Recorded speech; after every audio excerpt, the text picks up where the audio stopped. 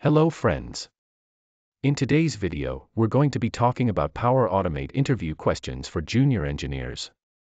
First, what is Power Automate? Power Automate is a cloud-based service that allows users to automate repetitive tasks and workflows across various applications and services. Second, how does Power Automate work? Power Automate uses a drag and drop interface to create workflows, called flows, that can be triggered by a specific event or manually launched. These flows can then perform actions across multiple applications and services, such as sending an email or updating a spreadsheet. Third, what are some common use cases for Power Automate? Some common use cases for Power Automate include automating data entry, sending notifications and alerts, and syncing data across different applications. Fourth, can I use Power Automate with other Microsoft products?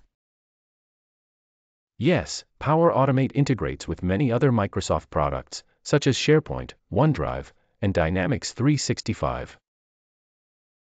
Fifth, can I use Power Automate with non Microsoft products?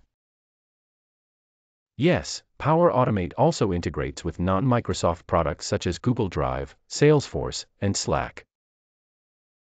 Sixth, how do I create a flow in Power Automate?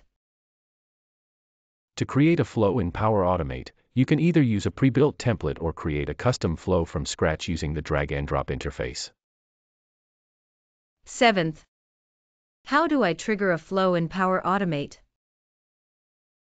Flows can be triggered by a specific event, such as a new email or a new item in a SharePoint list, where they can be manually launched.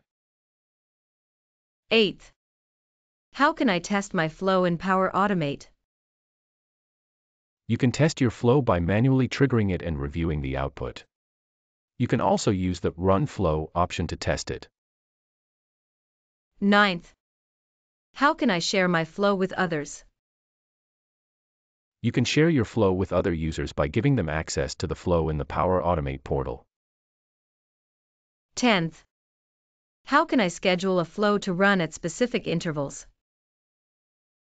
You can schedule a flow to run at specific intervals by using the recurrence trigger. 11th. How can I access my flows on mobile devices? You can access your flows on mobile devices by using the Power Automate mobile app, which is available for iOS and Android.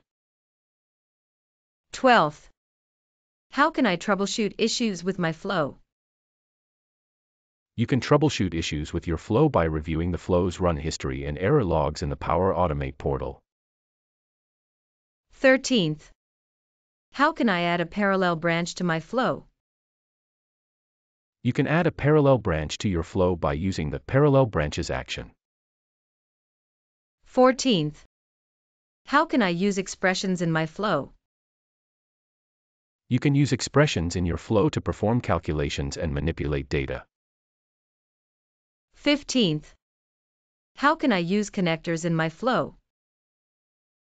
Connectors are used to connect to various external services, such as SharePoint or OneDrive, and perform actions on those services. Well, that's it for today's video. We hope you learned something new. If you're enjoying the video, please give it a like and leave a comment.